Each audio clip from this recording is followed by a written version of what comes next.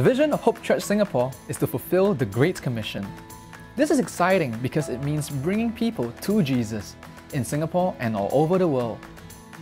Do you remember the time when someone told you about Jesus? After knowing Jesus, your life has been transformed. That was missions in action. Simply put, missions is a part of our DNA. We are sending teams all around the world to share the gospel. We are encouraging our new believers to declare their faith through baptism. We are teaching them to gather in small groups to worship God and study His Word. We are showing them how we can love and forgive one another. We are teaching them how we can pray and encourage one another to stand firm in the faith.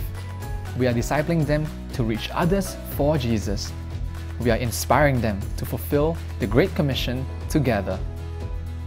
Thank you, Hope Singapore, for being missions minded.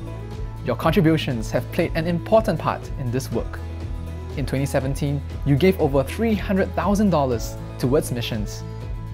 Your contributions helped to pioneer six new countries in 2017.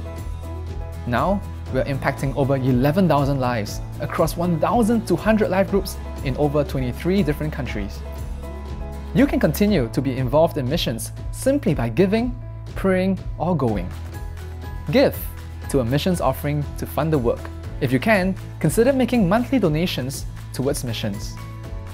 Pray for our ongoing missions work that God will use us to reach the nations.